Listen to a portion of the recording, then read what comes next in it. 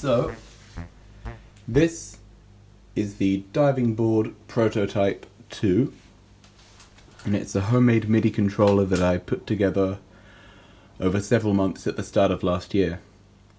And the reason for its existence is that this synthesizer here, which I've had for quite a while but only recently started really learning how to use, has a lot of parameters in it which can be adjusted for a great deal of effects as per usual for a synth, but the front panel, although it looks fairly detailed and full of knobs, isn't actually very conducive to fast editing. The instantaneous controls you have at the front, the filter, just the level for the amp, and a sort of basic envelope sort of thing, and an LFO. And that's your lot. This is your initial patch. Just a sort of a sawtooth sound you want to change that, you have to go in here to your tone edit, then you have to go to the oscillator section, and then pick your waveform.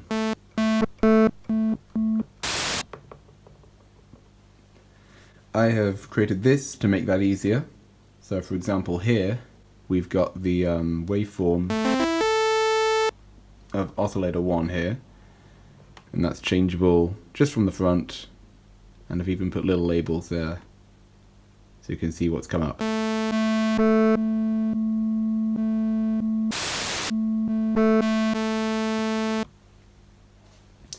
And um,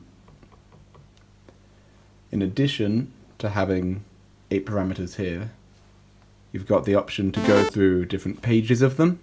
So these are all to do with the oscillator, but you've also got a mixer, which controls the relative volumes of the three oscillators, the master volume, and pans them. So let's just do an example of this quickly. We've got... If I bring in the other oscillators, so set them all to sawtooth initially, turn them all on, and we get just a sort of louder sawtooth. Now if I just quickly turn the fine tuning,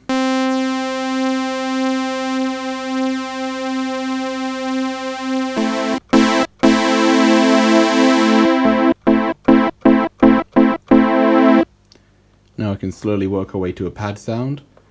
So we'll quickly adjust the panning, which I've set for these lower ones here. And uh, let's just adjust in real time here. So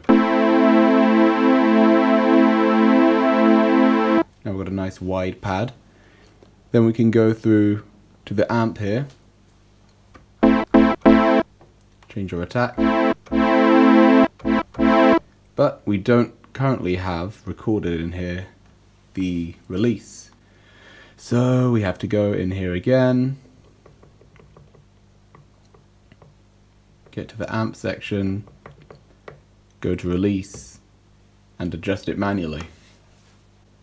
And so this thing has been created to solve two problems. The first being easy editing of stuff, which I've already demonstrated, and the second being easy adding of additional stuff to edit. So now we want to add the release to there. In most existing controllers I've found, you have to look up the MIDI implementation manual, find out what the MIDI message is for release, and then program it in some complicated way to that. And that's only applicable in most cases for common control messages. And if you want to do anything with sysex, like say for example over here in the delay section, you can change the time of the delay or the um, the feedback. That's all just sysex, so you just have to forget it or get yourself a really expensive controller and mess about with the difficult software for a while. I think that's all quite unnecessary.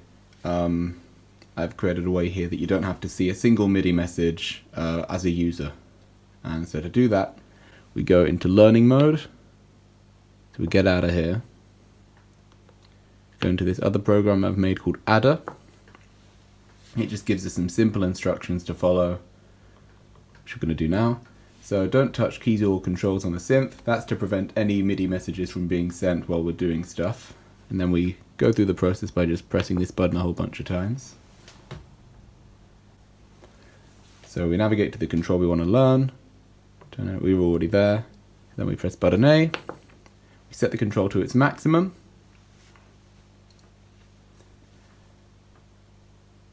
and uh, I'll explain why it's asking me to do what it's asking me to do. So the reason we set to maximum is to make sure it's not the minimum value.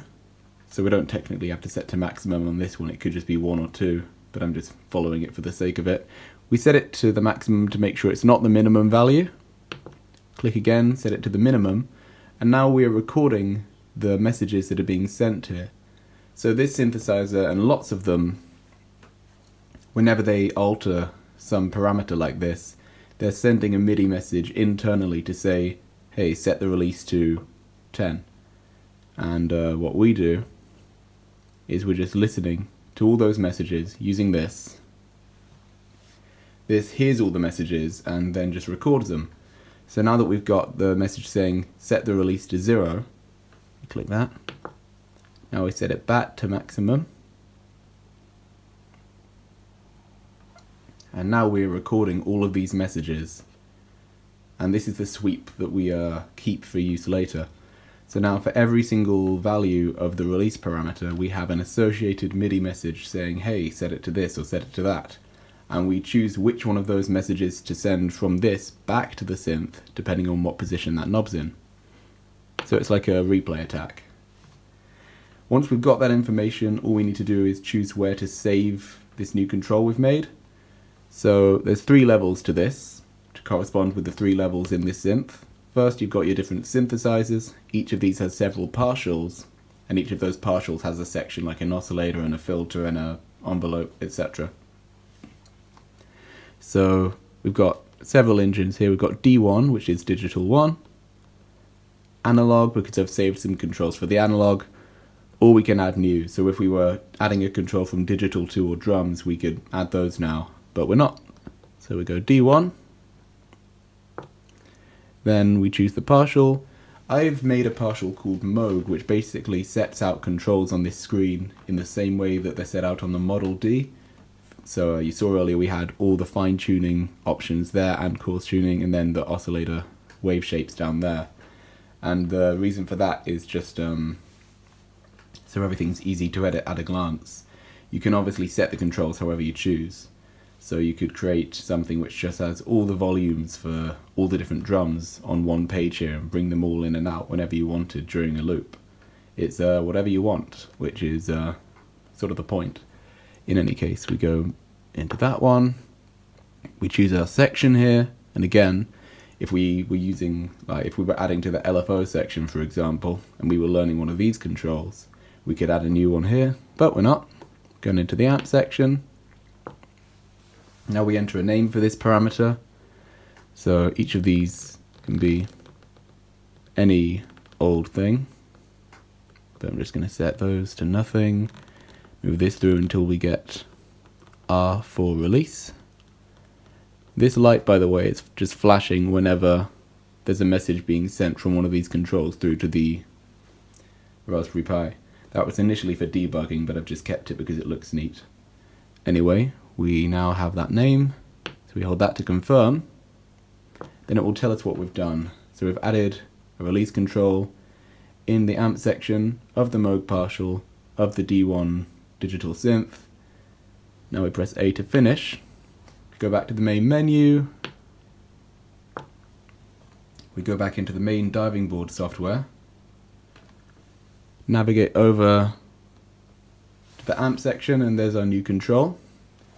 And as you can see as I manipulate this control, and you look at that screen there, there we go. We've learnt the message. And so now we have our half-made pad. We can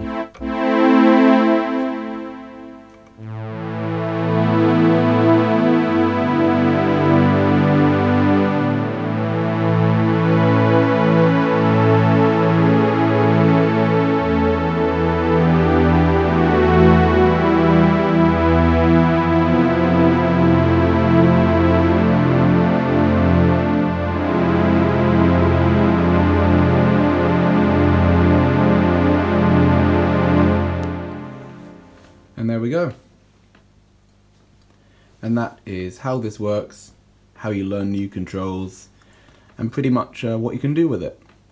An added upshot of the way we're learning controls here, which is literally just listening to messages this is sending, recording them, and then playing them back, is that if we had a different synth, for example, another one that's uh, a little harder to edit, a uh, microKORG, where you've just got five knobs and a bajillion parameters. If you were to set the parameters you wanted to edit, you could then, I believe, although I've not tested this yet, you should be able to then do the same thing. Manipulate something on there, turn it from nothing to full to nothing again, like we did with the learning method on there earlier. It would send those MIDI messages out. You could record them on here and then send them back and get all of the controls just sort of uh, at a glance in front of you. So uh, yeah, that's the thing I made.